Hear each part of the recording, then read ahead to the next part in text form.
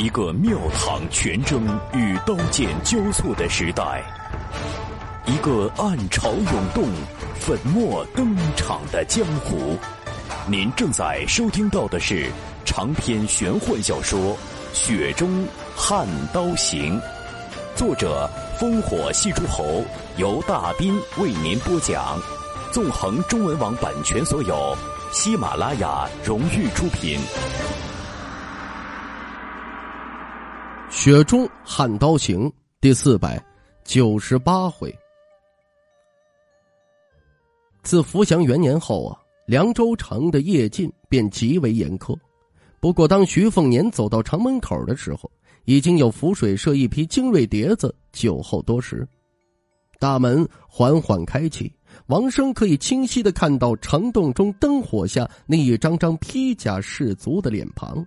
不论沧桑稚嫩，都洋溢着一股子让他感觉到陌生的矛盾气息，因崇敬而炙热，因骁勇而冷冽。没心没肺的李云长倒是没有太多感悟，只是他敏锐的觉得这些甲士比起沿途各地遇上的那些轻骑戍卒都要高大健壮一些，也更危险一点。两者对比，一个像是每天等着主人喂食的聒噪鸡鸭，一个像是荒郊野岭里自己刨东西吃的野狗，不喜欢叫，却真的能咬死人。对于这对福源滔天的少男少女而言，北凉王这个黎阳异姓王的头衔都太遥不可及了，远不如身边神仙师傅的恬淡举止那么可亲可近。不过吕云长啊，很快就有了最直观的印象。当少年亲眼看到那清凉山王府门口的两尊两人高的玉石狮子时，震惊的无以复加呀！一溜烟的小跑到一尊狮子下边，伸手摸着沁凉的巨大狮爪子，啧啧称奇，是唠叨不休。一会儿说太他娘的气派了，武帝城都没哪家哪户有这样的门面；一会儿揣测这要是偷了拿出去卖钱，能卖多少银子呀？北凉王远游返家。王府上动静不大，就一名啊中年的管家出门来，象征性的领个路进府。管家走在徐凤年身后，小声言语着。王生和吕云长两个土包子瞪大眼睛，是目不暇接呀。曲曲折折，柳暗花明，别有洞天。结果两个孩子瞪了足足一炷香，也没有停脚的迹象，这才勉强眨了眨泛酸的眼睛。二人相视一笑，都瞧出了对方的局促。两个针尖对麦芒的孩子，这才有了点默契，不再像先前赶路时候那般句句言语之中都弥漫着战火硝烟。绿云长啊，就感觉自己就像走入了一处仙境。那些个姐姐呀，个个都跟四冠壁画里走出来的神仙姐姐似的，穿戴贵气逼人，气质也让这个没读过书的少年说不清道不明。随便拎出来一个，能把那武帝城革命巷弄那个喜欢涂抹浓厚胭脂的小梅甩出去十八条街都不止。吕云长走在最后，还转头望着远处一条过廊里的年轻女子，身段婀娜，哪怕远观也只觉得是风流倜傥的稀里哗啦，让人挪不开眼睛。他姗姗而行于一盏大白灯笼下，蓦然回首，恰好与他对视。嫣然一笑，差点就把那吕云长的魂魄给勾走了。吕云长收回视线，晃了晃脑袋，他讪讪的一笑，心想着：这位姐姐真是俏煞了人了。略微走在前头的王生呢，他的视野豁然开朗，驻足不前，哪怕被身后的吕云长撞了一下，也没踏步。吕云长侧过身，二人一起是心神摇曳。眼前就是那个名动天下的听潮湖了。徐凤年新收的两个徒弟，两个人在见到听潮湖后，有着截然不同的反应。心高志远的吕云长第一时间便抬头望向那座阁楼。听潮湖上，听潮阁，阁内秘籍万万千，只得其一就可称霸一方啊！吕云长啊，以前不太信。可当少年亲眼见识过师傅在武帝城外的玉器手腕后，对此事深信不疑。而王生则是低头望去，看着远处被湖畔灯火映照的如同一面殷红绸缎的平静水面，他想知道那里是不是真的有一尾十斤的天池锦鲤呀？湖心有亭，亭子里站着一个孤零零、怯生生的干烧木头。不知为何，王生和吕云长几乎同时，一个视线抬高，一个视线放低，看到了那个除了装束古怪，其他都相当不起眼的孩子，比他们呢还要小个四五岁的模样。三个孩子心有灵犀，两两对视。徐凤年已经让管家呀去忙自己的，看了眼亭里的孩子，他笑道：“姓于，名地龙，是你们的大师兄。”吕云长嘴角抽搐一下，他倚老卖老起来：“啥？这小娃儿就是我跟王木头的师兄？还还地龙？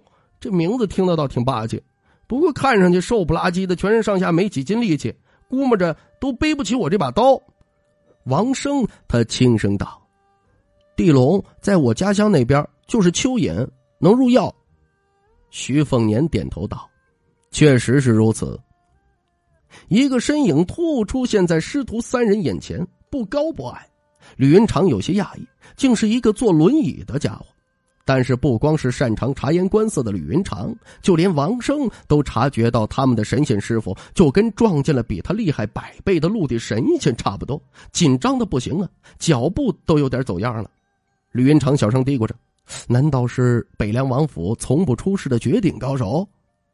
徐凤年快步走到湖堤上，帮忙推着那架木质轮椅，嘴唇抿起，没有说话。吕云长大概是先入为主，对这个坐轮椅的年轻女子很是忌惮，丝毫不敢嬉皮笑脸。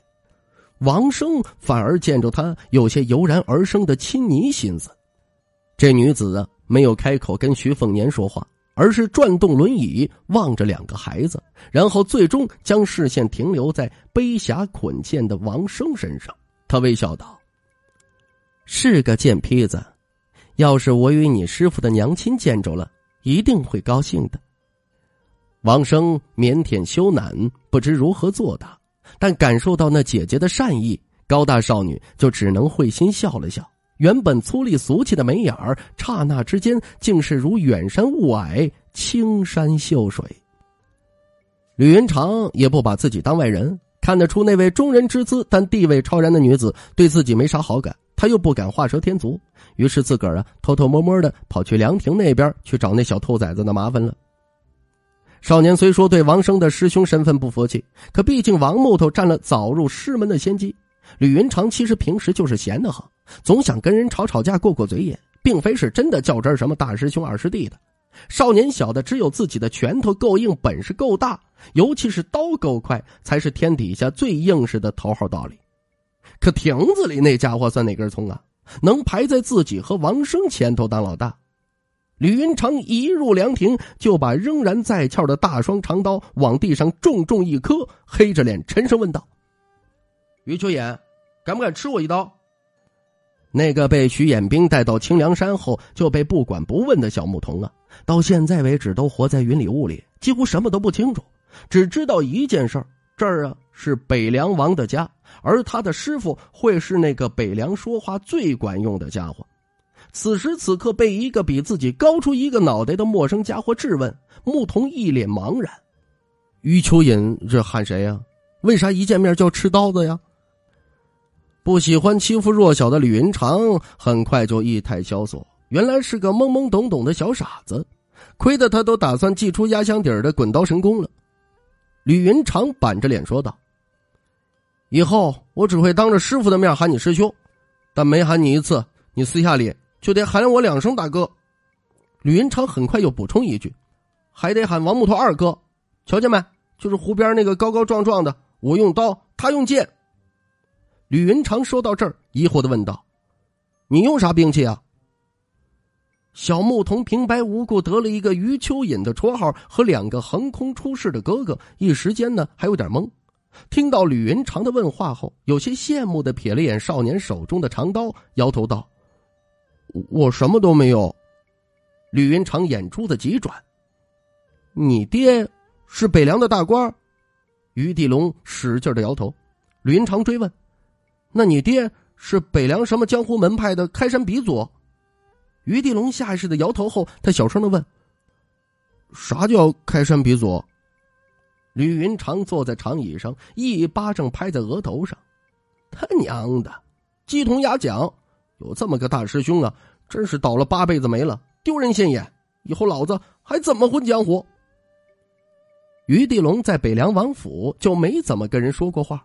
虽说当下这个健硕少年瞅着挺凶神恶煞，可于地龙到底是孩子心性，喜欢热闹，小心翼翼的就坐在吕云长的身边，盯着那柄大双长刀，自言自语道：“你就拿了一样东西，不过有我大腿粗呢。湖边那个我数了一下，十五样，不过每一样都小拇指头那么细，还是你的瞧着厉害。”吕云长故作凶狠道：“啥大腿粗、小腿细的？你脑子进水了？”于地龙指了指吕云长的双刀，一脸委屈道：“你的刀子上不是有一股子白气吗？你看不见？”吕云长脸上老神在在，可心中翻江倒海，有震惊也有惊喜。震惊的是，这小娃儿如果不是胡说瞎诌，那么眼力劲儿可真是不俗气。惊喜的是，自己果然在武道上已经比王木头走得更远。吕云长突然盯着这个来历古怪的小大师兄，他问道：“那你呢？有没有那么一股子气啊？”于地龙嘿嘿一笑，没说话。吕云长一翻白眼原来你不傻呀。”王生走入亭子，看到吕云长跟的牧童已经水到渠成的打成一片，难免有些羡慕和失落。于地龙纠结了半天，抓耳挠腮，好不容易鼓起勇气说道：“师师妹。”大概是觉得初次见面这么喊一个年纪比自己大的姐姐不妥当，又试探性的问道：“要不还是喊你师姐？”王生被揭穿了身份，微微愠怒，亭子中顿时剑气横生。于地龙貌似浑然不觉，挠了挠脑袋，有些不知道自己到底错在哪儿的由衷歉意。吕云长怪叫了一声：“瞎了老子这双狗眼呢！我就说你王木头怎么撒个尿都恨不得跑出去七八里路，原来你根本就是个小婆娘！”王生他怒气冲冲道：“既然瞎了你的狗眼！”那就闭上你的狗嘴！吕云长猛然起身，王木头，别得寸进尺，你找打不是？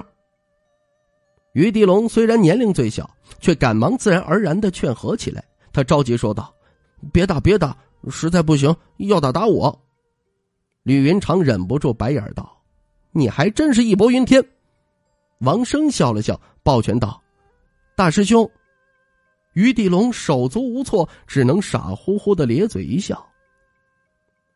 湖边，徐伟雄收回视线，不再理会亭子里三个孩子的嬉戏打闹。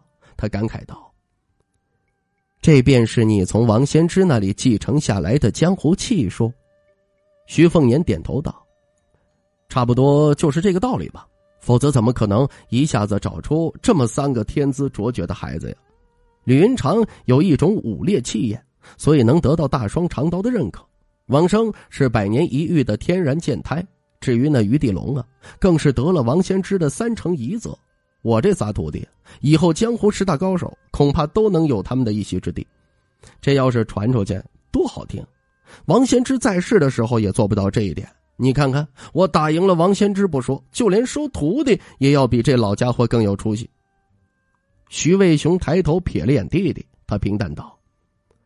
看把你偷着乐的，赶紧把嘴拢一拢，小心呢裂到耳朵后边去了。徐凤年蹲在他身边，忐忑的问：“姐，你不生气啊？我去武当山练刀，你回家以后都不乐意搭理我。后来那次去北莽，你更是差点没认我这个弟弟。”徐渭雄双手交叠放在膝盖上，望着平静如镜的湖面，眼神温柔，柔声说道。那时候，是爹在当家，你在胡闹；如今是你在当家，是在扛担子。徐凤年嗯了一声，伸出双手揉了揉脸颊。放心，接下来呀，我也没工夫在江湖上闹腾了。这不，马上就要去一趟边境，不像上次教阅，这回呀，我还要把十四位教尉一起都喊去。可以说，北凉称得上手握实权的五十来位将领。这次都要一起碰头了。徐卫雄转头伸出手指，在徐凤年头上弹了一下，还不是去臭显摆去了。徐凤年一脸无奈苦笑，也没解释反驳。徐卫雄他一手敲击着椅子边缘，一手撑起腮帮子，笑容璀璨，自豪的说：“整个江湖都在看你，以后啊，两座江山也要乖乖的看着你的脸色。不论成败，千年已降，能有几人？”徐凤年只是看了眼天空。您正在收听到的是《雪中悍刀行》，纵横中文网版权所有，喜马拉雅荣誉出品。夜色中，徐凤年独自走向清凉山上的黄鹤楼，府门上贴着的还是那幅白底春联府内的盏盏灯笼也是清一色雪白架子。这座气象森严的府邸。在那个老人去世之后，一直就谈不上什么喜气不喜气了。直到整个北凉道都获知年轻藩王一举战胜武帝成王仙之后，清凉山的气氛又拐了一个大弯，许多吊着的心思又都一下子放下，笼罩北凉王府的阴霾随之一扫而空。徐凤年入府之后。没有去那座度过整个少年时光的梧桐院，只是啊，去冷清素洁的徐潇屋子里坐了很久。两只竖立起的衣架子依旧分别架着样式老旧的梁王蟒袍和那痕迹斑驳的大将军铠甲。外人都会觉得呀，徐潇对后者很在意是情理之中的事情。毕竟徐潇这个毒夫国贼是靠着军功走到了人臣顶点。但少有人知晓，任图其实对那件藩王袍子绝不是外人以为的嗤之以鼻。徐凤年对此心知肚明。徐骁在乎的不是蟒袍象征的藩王身份，而是背后的那份功劳，是当下许多庙堂权臣都刻意遗忘的再造赵氏之功。当初黎阳不过是北地一个化外的蛮子王朝。群雄并起，藩镇割据，自顾不暇。包括大楚在内的中原大国，谁会把这个自身内乱不止的家伙当做劲敌呀？正是徐骁这个搅局者的南下，硬生生帮着黎阳先帝把王朝给拧在手中，没了内耗，这才给随后经略春秋打下了底子。这也是后来许多赵氏勋贵对徐骁爱憎分明的缘由所在。亲近先帝的那波宗室老人，大多在天下大定之后，庙堂暗流之中，哪怕没有替徐骁打抱不平、美言几句，最不济也不至于啊做到落井下石。只不过这一脉的老家伙，大多在战场上受过大大小小的伤，故而死的要比一些躺着享福的宗亲要早一些，而他们的后代子孙又多与当今天子以及执政的闭眼不太对付，根本无法出人头地。加上宗室内部又有由来已久的严重分歧，这一波名义上的龙子龙孙可谓苟延残喘，以至于这趟南伐西楚完全没他们的份儿，多是另一帮年纪轻轻的天皇贵胄大摇大摆的跟随几位老将军南下去摄取军功，反正他们的父辈祖辈就是靠着这种伎俩爬起来的，这大概算是家学渊源，熟能生巧了。徐凤年缓缓走在山路上，然后在山腰处停步望向凉州州城内的灯火依稀，一处熄灭，偶尔又有别处星光亮起，宁静安详。